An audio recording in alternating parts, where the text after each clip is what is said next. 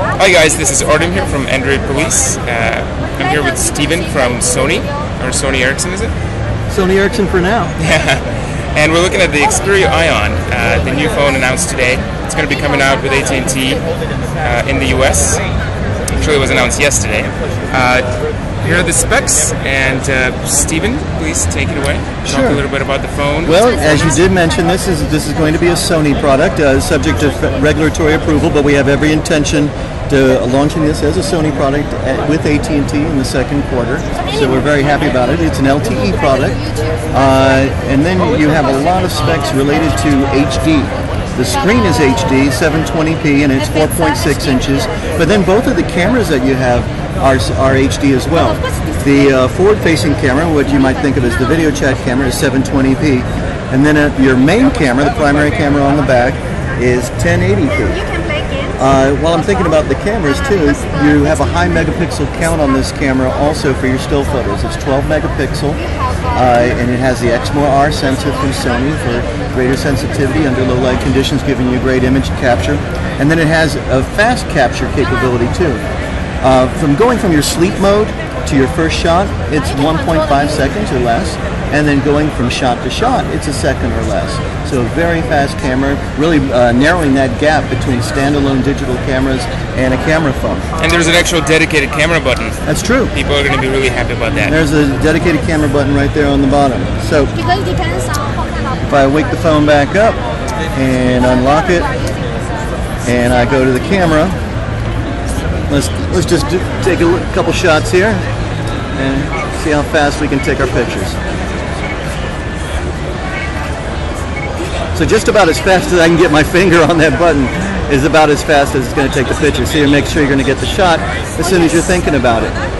So no lag time at all. Mm-hmm. Also, when we think of the HD capability, you've got full 1080p HDMI transfer. And when you connect an HDMI cable to the television, you get uh, what's called the TV Launcher application, a carousel of special applications that show up on the Bravia screen. So you want to uh, access your Facebook account or surf the web, or access services like Music Unlimited and Video Unlimited and have it on the big screen as well.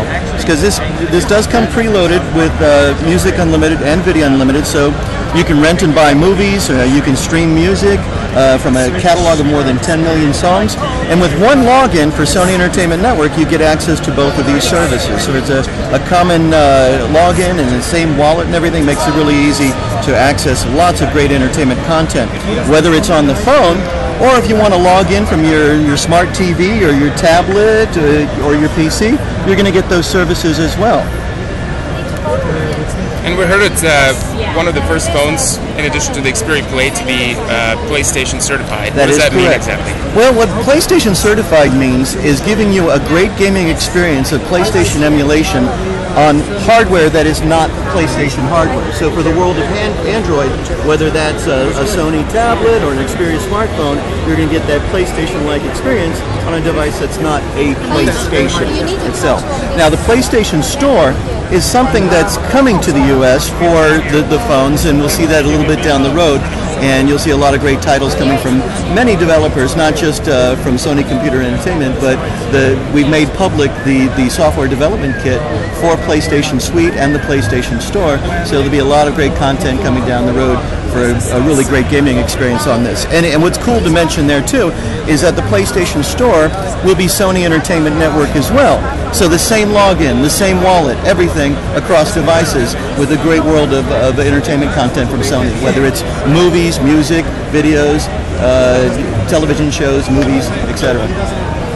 But it doesn't mean that it's going to be compatible with like PS Vita games or. Right, it's separate from the PlayStation Network. So PlayStation Store will be serving Android tablets and, and Xperia smartphones. Okay. And right now it's running Android 2.3.7, is it? Correct. So that the latest uh, version there of Gingerbread, and it will be upgradable to Ice Cream Sandwich. Okay.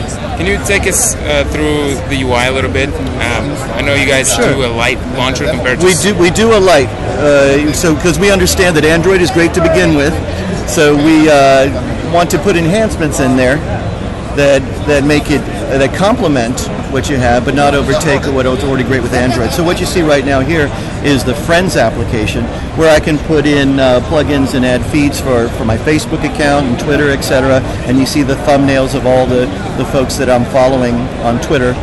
Uh, so you have a, like a social pane there. But these are just widgets. You can just take them off your yeah, if you wanted to, you do. All I have to do is if I want to remove a widget, Sure. is I press and hold, and I drag it down there to trash can, and then that particular widget is going to be gone. And that's not one I'm going to get rid of because I want to do Google search, but uh, you could do that as well. And then you see your entertainment screen here. So you have music unlimited, video unlimited, and then a music service from AT&T because this is an AT&T customized product, and AT&T also uh, uh, has us put on the Amazon Kindle uh, application as well on that. So more of your entertainment pane there, and then another one for AT&T with the Yellow Pages search. And it's just just apps. Uh, you can always install them if you Yes, want. you, you can add widgets. You can add widgets as you want by pressing and holding on the screen, and you can go and add any widget or shortcut that you want, And that looks like standard customize. Android. Yep. Yeah, and customize it as you wish. And an ice cream sandwich, a lot of it is much prettier. A lot of it is being done by Google already, so Yeah. it's it's going to be easier, hopefully easier to integrate with Yeah, uh, so the changes any, yeah, anybody using an Android phone will find this type of menu very familiar to them. And you know, with the, the preloads we would have, like Sony Entertainment Network music unlimited and video unlimited in there. But a lot of things that they're going to find recognizable with the applications that they would expect, and of course, accessing Android Market to make the phone do whatever you want it to do. Okay, sounds great. And can we take a look on, on the back side and maybe the sides as well? Sure. On this side, you have, uh, if I can open this up, you have one set, one place there for both your HDMI and the USB connectors. That's micro USB right there. Yes, micro USB and HDMI, micro HDMI. And on the back, we have the Xperia branding. You have your camera light, and of course your primary camera, the 12 megapixel camera, which is also 1080p video.